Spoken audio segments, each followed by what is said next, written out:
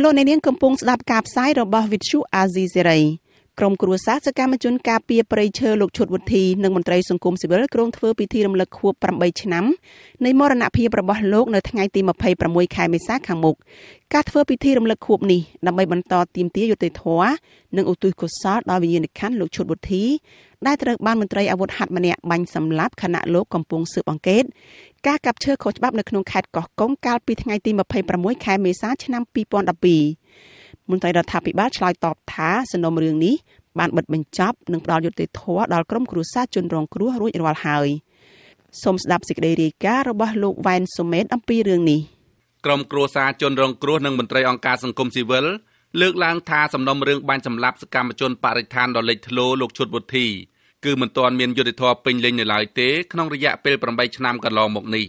ហើយទាមទារឲ្យរដ្ឋាភិបាល បន្តស្វែងរកឃាតករពិតមកផ្ដន់ទោសតាមផ្លូវច្បាប់ការអំពាវនាវនេះធ្វើឡើងនៅពេលដែលក្រុមគ្រួសារលោកជុតវុធី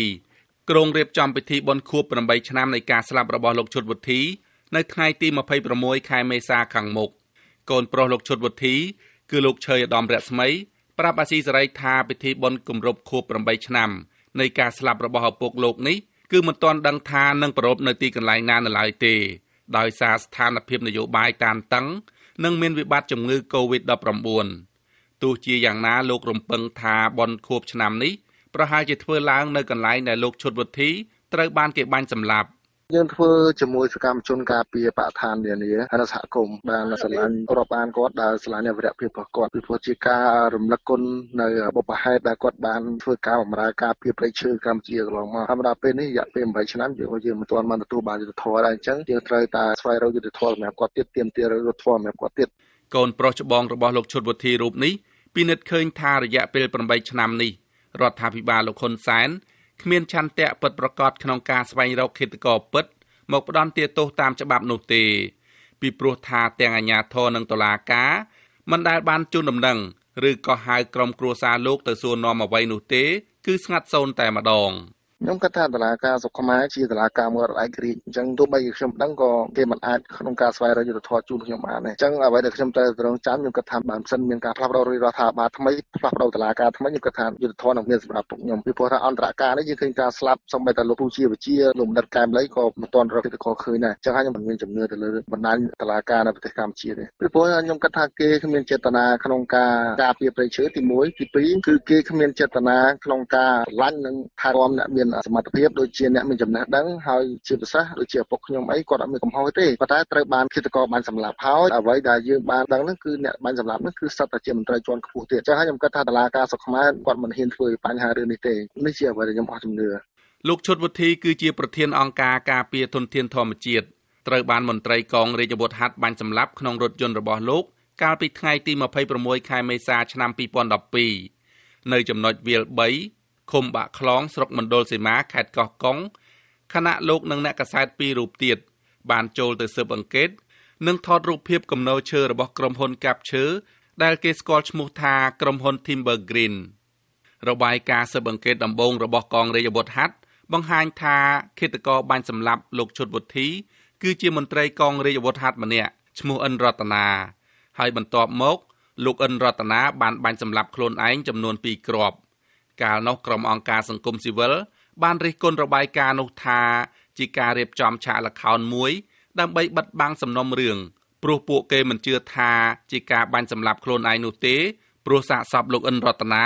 ត្រូវក្របកំភ្លើងចំនួន2គ្រាប់ខុសកន្លែងគ្នា បន្ទាប់មកនៅថ្ងៃទី30ខែមេសាឆ្នាំ2012លោកនាយករដ្ឋមន្ត្រីហ៊ុនសែនបានបញ្ជាឲ្យបង្កើតគណៈកម្មការចម្រុះមួយដឹកនាំដោយលោកឧត្តមសេនីយ៍ម៉ាក់ជីតូ ដើម្បីធ្វើការស៊ើបអង្កេតជាថ្មីឡើងវិញរបាយការណ៍ស៊ើបអង្កេតរបស់គណៈកម្មការចម្រុះបានរកឃើញផ្សេងថាបន្ទាប់ពីលោកអិនរតនាបាញ់សម្លាប់លោកជុតវុធីនោះគឺមានសន្តិសុខក្រុមហ៊ុន Timber Green ម្នាក់ឈ្មោះរ៉ាន់បូរ៉ាត់បានស្ទុះទៅទាញកំភ្លើងចេញពីលោកអិនរតនាដើម្បីកុំឲ្យបាញ់ទៀតហើយការប្រទីងប្រទងគ្នានោះបានធ្វើឲ្យរាយកាយកំភ្លើងផ្ទុះពីក្របត្រូវលោកអិនរតនាតែម្ដងក្រុមអង្គការសង្គមស៊ីវិល នៅតែមិនជឿលើការស៊ើបអង្កេតថ្មីនេះព្រោះជាធម្មតាគ្មានមធ្យោបាយណាដែលកំភ្លើងវែងរបស់លោកអិនរតនាអាចបែរ180ដឺក្រេហើយបណ្ដាលឲ្យបាញ់ត្រូវកន្លែងពីរផ្សេងគ្នា ដោយមួយកន្លែងនៅចំទ្រូងឯមួយកន្លែងទៀតនៅចំពោះលោកអិនរតនានោះទេជាលទ្ធផលសំណុំរឿងឃាតកម្មដ៏កក្រើកមួយនេះគឺមានតែសន្តិសុខក្រុមហ៊ុន Timber Green ម្នាក់គត់ត្រូវបានតុលាការខេត្តកោះកុងកាលពីខែឧសភាឆ្នាំ2012 សម្រាប់ផ្ដន្ទាទោសឲ្យជាប់ពន្ធនាគាររយៈពេល6ខែក្រោមបទចោទពីបទប៉ុនប៉ងមនុស្សឃាតដោយអចេតនាតុលាការក៏សម្រេចមិនចាត់ការទៅលើសំណុំរឿងឃាតកម្មលើលោកឈុតវុធីបន្តទៀតឡើយដោយសំអាងថាឃាតករដែលបានបាញ់សម្លាប់លោកឈុតវុធីក៏បានស្លាប់ដូច្នេះមិនដឹងអាញាក៏រលត់ដែរលោកឆើយឧត្តមរស្មីនិយាយថាសំណុំរឿងឃាតកម្មលើឪពុករបស់លោកបានបញ្ចប់ដោយភាពអយុត្តិធម៌បំផុត ហើយបន្សល់ទុកនៅសំណួរនឹងការសង្ស័យជាច្រើនលោកសង្កេតឃើញថាការស៊ើបអង្កេតតាំងពីថ្ងៃទី1នៃការស្លាប់នោះមក គឺអាជ្ញាធររដ្ឋាភិបាលមិនបានធ្វើការដោយម៉ត់ចត់ត្រឹមត្រូវនោះទេ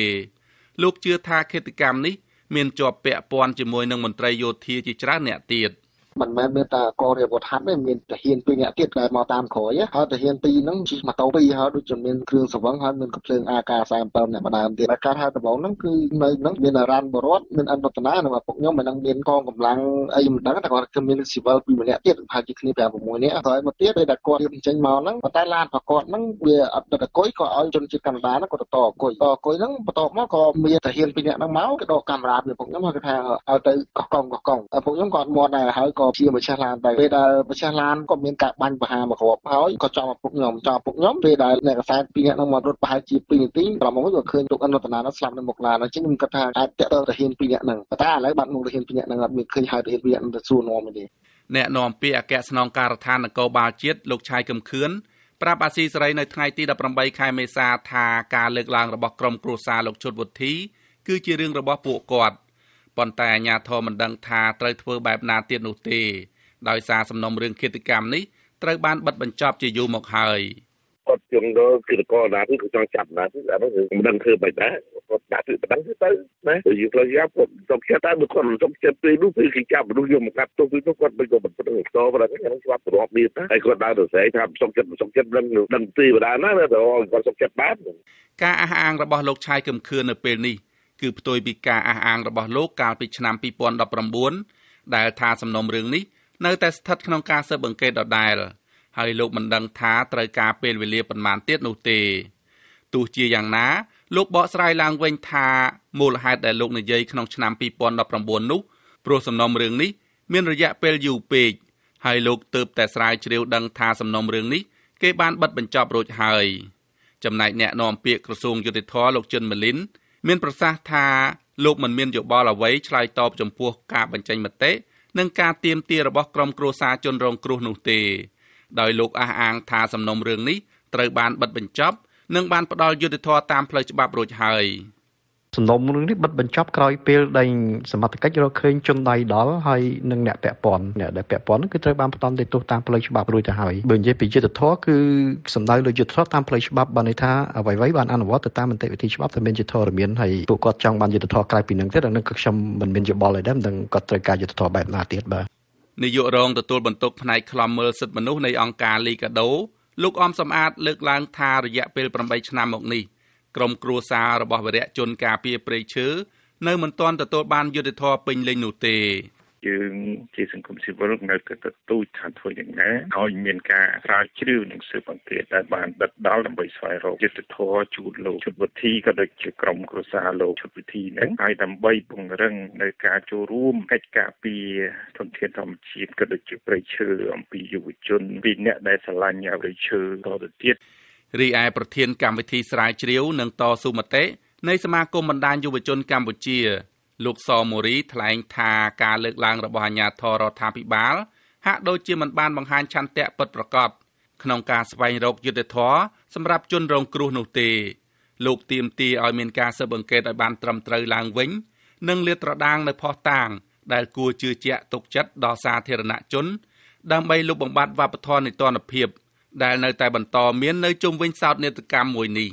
អាជ្ញាធរគួរតែឲ្យការស៊ើបអង្កេតផ្នែកថ្មីហើយក្នុងដំណើរការនៃការស៊ើបអង្កេតនោះគួរឲ្យមានការចូលរួមពីអង្គការសង្គមស៊ីវិលឬក៏អ្នកជំនាញឯករាជ្យហើយត្រូវធ្វើបច្ចុប្បន្នភាពនិងផ្ដល់ដំណើរភាពផ្នែកព័ត៌មានអំពីនីតិវិធីស៊ើបអង្កេតនឹងជាប្រចាំដល់ឧស្សាហ៍លោកឈុតវុធីក៏ដូចជាសាធារណជនទូទៅហើយធ្វើបែបនេះខ្ញុំយល់ថាអាចប្រជាពលរដ្ឋសាធារណជនទូទៅនិងសកម្មជនបកឋាននឹងក៏ជឿជាក់ឯករាជ្យភាពហើយនឹងភាពអាចទទួលយកបានចំពោះនីតិវិធីនៃការស៊ើបអង្កេតរបស់អាជ្ញាធរ ចំពោះការប្រារព្ធពិធីបុណ្យខួប8ឆ្នាំវិញកូនប្រុសរបស់លោកឈុតវុធី និងលោកសមរីអំពាវនាវឲ្យសាធារណជននិងយុវជនចូលរួមគោរពវិញ្ញាណក្ខន្ធរបស់លោកឈុតវុធីឲ្យបានច្រើនហើយនឹងចូលរួមបង្ហោះសារលើបណ្ដាញសង្គម Facebook ដើម្បីរំលឹកឡើងវិញនៅការងារនិងការលះបង់របស់លោកឈុតវុធី ក្នុងកិច្ចការពារព្រៃឈើព្រមទាំងចូលរួមបង្ហោះសាររួមចំណែក ស្នើសុំឲ្យរដ្ឋាភិបាល បន្តស្វែងរកឃាតករពិតដែលបានបាញ់សម្លាប់លោកឈុតវុធីផងដែរខ្ញុំបាទវ៉ែនសុមេតអាស៊ីសេរីពីរដ្ឋធានី Washington